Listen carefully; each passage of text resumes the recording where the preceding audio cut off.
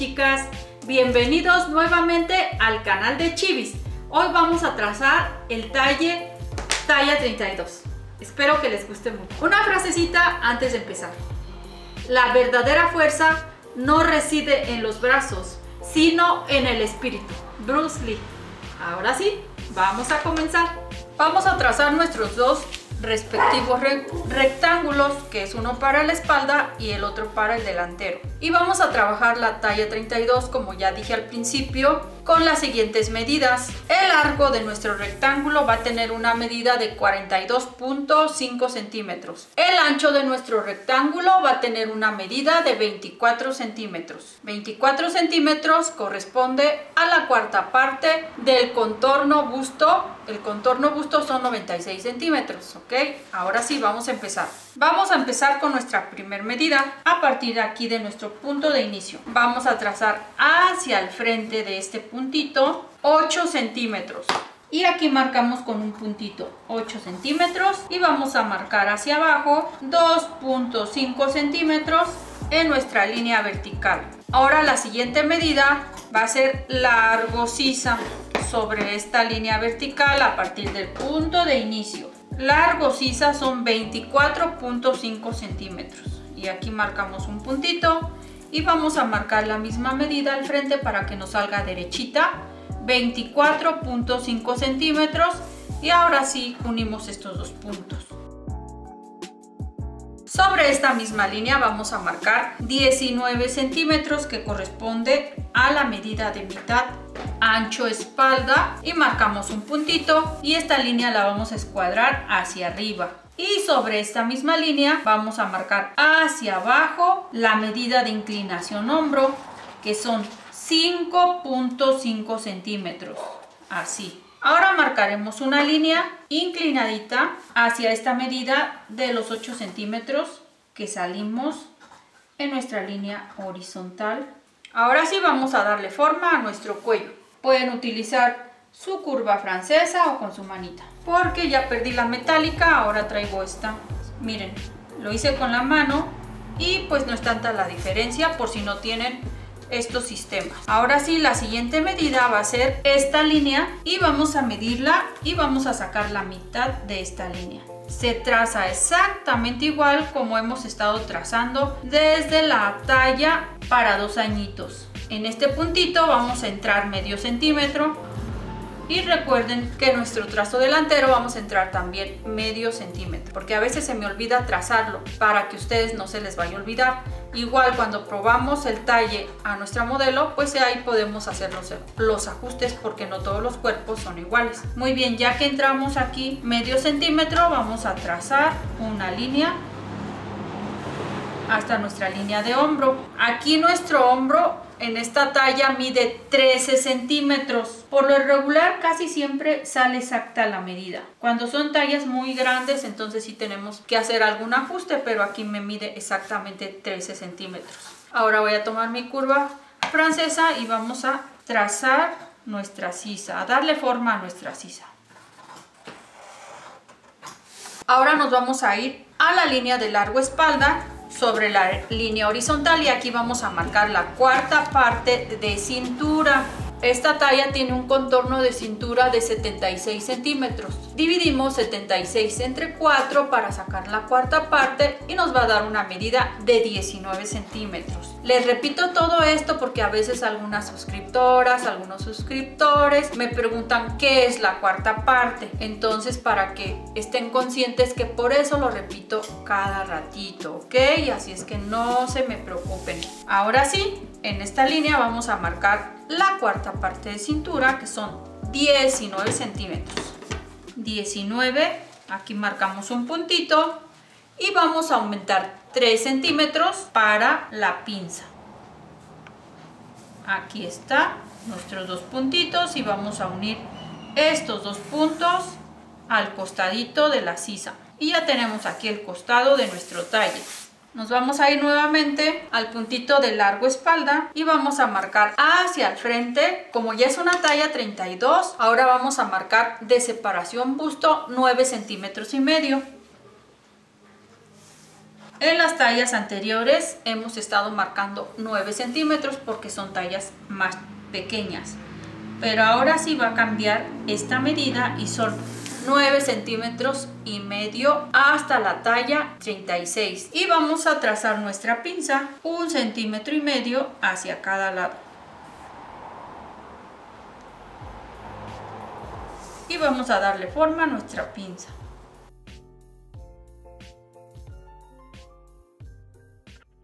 Y aquí tenemos ya nuestro trazo espalda. Aquí cerré estos, esta línea de los 3 centímetros que dejé al principio porque se nos va a servir por si vamos a, pegar un cierre.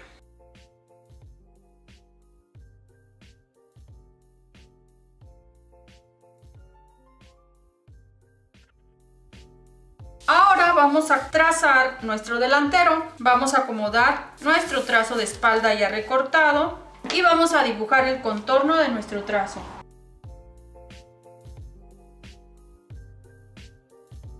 Y la siguiente medida que vamos a marcar va a ser en la línea del cuello, que es el escote cuello, pero antes de marcar nuestro escote cuello, vamos a bajar en este punto, en este puntito de nuestro hombro hacia abajo un centímetro y medio. Es lo que hemos estado haciendo en todos nuestros talles, que ya son las diferencias de la espalda a delantero. Aquí ya marcamos un puntito y aquí vamos a marcar el escote delantero. El escote delantero lo vamos a marcar 8 centímetros hacia abajo, así. Y nos vamos a llevar esta línea al frente. Y le vamos a dar forma a nuestro cuello delantero. En esta parte de aquí recuerden que les dije que se eh, van a entrar medio centímetro, que es la diferencia también de la sisa delantera con la sisa espalda. En algunos talles lo he olvidado, pero podemos arreglarlo cuando ya estemos cortando nuestra tela. Ahí se la va a medir nuestra modelo y ahí vamos a hacer algunos ajustes. Muy bien, ahora sí, nos vamos a nuestra línea de costado. Sobre este puntito que marcamos son los 3 centímetros para pinza y sobre este puntito vamos a bajar 4 centímetros hacia abajo. Los podemos marcar acá también, no pasa nada. 4 centímetros, que son, estos 4 centímetros van a ser para la pinza de costado y vamos a marcar estos 4 centímetros también en el centro de mi trazo. Y aquí cerramos nuestros puntos que acabamos de marcar. Aquí vamos a volver a marcar nuevamente la cuarta parte de contorno cintura. Vamos a poner nuestro tracito.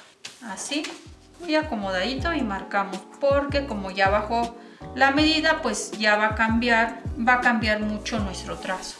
Así, aquí está el puntito y nos vamos a llevar estos dos puntos hasta la línea de sisa.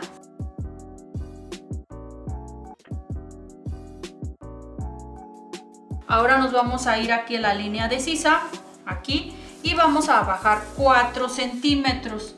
Estos 4 centímetros que vamos a bajar es la medida de largo de la pinza o largo más alto del busto y vamos a marcar también esos 4 centímetros hacia el frente. En las tablas de medidas que tengo en la página, ahí no hay necesidad de que marquen estos 4 centímetros porque ahí ya viene bien la medida muy precisa qué medida tiene cada talle del largo más alto del busto. Cuando son tallas muy grandes, después de la talla 38, cuando ya es 40, aquí pueden bajar 5 centímetros. Pero ahorita como estamos en tallas pequeñas, solamente vamos a bajar 4 centímetros porque no estamos utilizando ahorita una guía de medidas. Ahora sí vamos a unir estos dos puntos nos vamos sobre esta línea que acabamos de marcar del punto más largo del busto y aquí vamos a marcar 9 centímetros y medio hacia el frente que es la medida de, separación busto. Muchos se preguntarán por qué lo marqué en la espalda si en el frente está el busto verdad la razón por qué lo marco también en la espalda es cuando nosotros queremos hacer un vestido recto y pues todas nuestras pinzas tienen que, tienen que coincidir tanto en la espalda como en el delantero de nuestra falda. Ahora sí vamos a marcar nuestra pinza.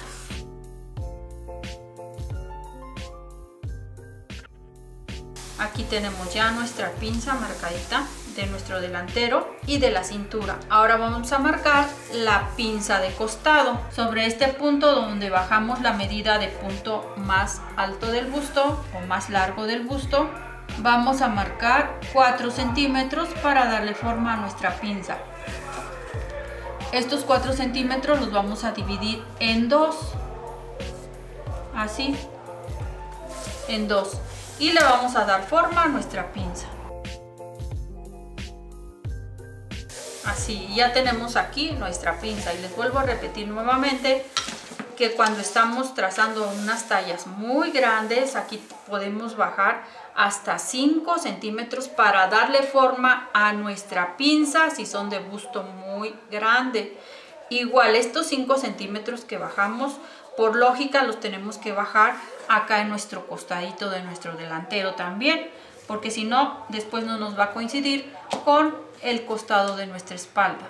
Este después la guardamos o si la queremos coser, pues la cosemos. Y pues ya tenemos aquí nuestro trazo del delantero, como hemos venido trazándolo en todas nuestras, en todos los videos. Ahora sí vamos a recortar.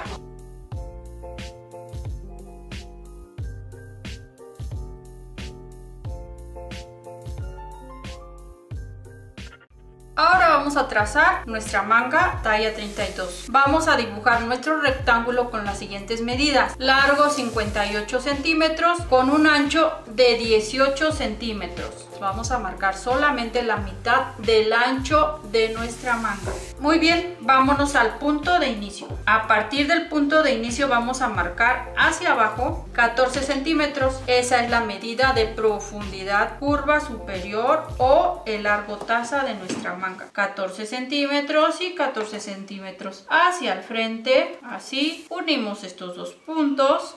Así, nos vamos a nuestro punto de inicio y vamos a avanzar un centímetro y medio, así, a veces me preguntan por qué avanzo aquí un centímetro y medio, podemos avanzar de un centímetro, uno y medio hasta dos centímetros, esto es para que no se haga pico en la parte alta de nuestra manga. Después de este avance de 1.5 centímetros vamos a marcar una línea en diagonal hasta aquí el largo de profundidad de nuestra manga. Y vamos a marcar esta línea.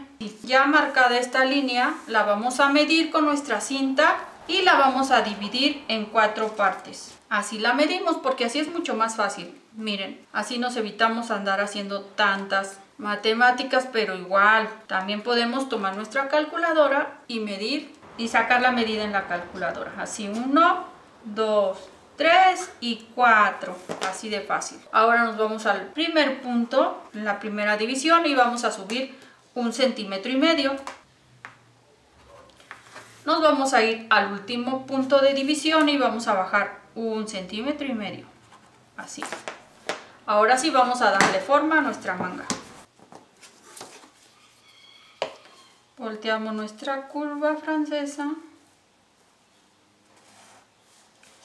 Y este último punto lo llevamos hasta la orilla así. Vamos a medir largo codo aquí a partir de nuestro punto de inicio que se me andaba pasando. Largo codo son 36 centímetros desde arriba de nuestro rectángulo. 36 centímetros. Y vamos a unir estos dos puntitos y este esta medida nos va a servir cuando queramos trazar una manga sastre Ahora sí nos vamos al final de nuestro rectángulo para medir el contorno mano. Esta talla tiene un contorno mano de 20.5. Vamos a redondear a 21 y vamos a marcar la mitad de 21 que son 11 centímetros. Digo, 10 centímetros y medio. Ya ven por qué odio las matemáticas. 10 centímetros y medio. Y vamos a unir estos dos puntos aquí a este puntito de la sisa de mi manga. Aquí tenemos ya trazada nuestra manga. Ahora volvemos a la sisa de mi manga y vamos a trazar aquí la parte posterior de mi manga o la parte que va en la espalda. Me voy a ir al puntito del centro y aquí voy a subir un centímetro y medio, así. Y voy a trazar nuevamente con mi curva francesa o con su manita pueden hacerlo si no cuentan con este sistema y nos vamos a ir de la misma forma que trazamos nuestro delantero para que no se me angustien y digan, ay, ¿cómo lo está trazando? Porque luego tapo con el sistema y se preguntan ustedes, pues, ¿cómo lo está trazando, no? Igual, pueden hacerlo también con su manita así, trazar, trazar. Si les queda algún piquito, pues fácilmente lo podemos difuminar. Ahora sí, vamos a recortar nuestro trazo de manga. Recuerden que tienen que doblar siempre su papel, porque al principio no les dije, pero en los otros videos les he estado diciendo que doblen su papel para que nos salga nuestra manga completa. Aquí voy a poner unos piquetitos con alfiler en estos puntos para marcar mi manga del otro lado. Ahora sí vamos a recortar por la parte de arriba donde trazamos la espalda. No vayan a recortar aún el delantero.